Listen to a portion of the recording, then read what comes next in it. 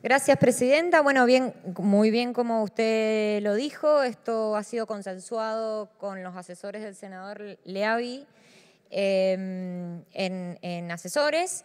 Simplemente poner en contexto, cuando, cuando tratamos una ley que salió con amplio consenso, que fue la ley del alcohol cero, insistimos, algunas senadoras y senadores, en que había que eh, tratar el tema de los accidentes viales en la Argentina de una, forma integral. Y uno de, de, los proyectos que presentamos fue este, que se incorpore a la currícula común de todos los niveles educativos de la Argentina el respeto a la seguridad vial, a, los hábitos y prácticas de, la seguridad como forma de prevención de los accidentes fatales. Bueno, es un paso más que estamos dando.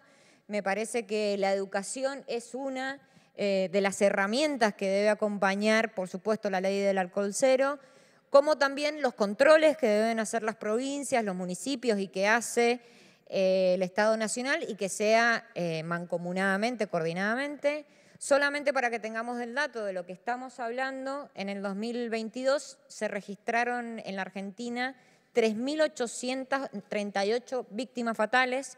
Esto es un promedio de 9,4 accidentes fatales eh, por día y 10,5 víctimas fatales por día a causa de accidentes de tránsito. Es decir, que todos los días en la Argentina mueren casi 11 personas como víctima de accidentes fatales que pueden ser evitables. Con la ley del alcohol cero, con esta ley se acompañan los compañeros senadores y senadoras de que se incorpore a la currícula común de todas eh, las esferas, digamos, los estamentos educativos a, la educación vial, como también los controles y bueno, y otra ley que planteamos es el fortalecimiento de las penas en caso de, eh, por supuesto, accidentes donde haga consumo de alcohol o, drogas.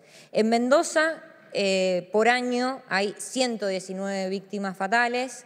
Es un tema que es transversal a todas las provincias, pero que entiendo que tenemos que seguir pensando y colaborando desde el Senado de la Nación en construir leyes que hagan eh, que podamos evitar muertes y salvar vidas de argentinos y argentinas. Quiero decirle que es la principal causa de muertes de adolescentes y jóvenes en la Argentina, los accidentes fatales viales y la segunda causa de muertes es el suicidio, así que son dos temas que creo que tenemos que abordar ampliamente en el Senado de la Nación. Muchas gracias.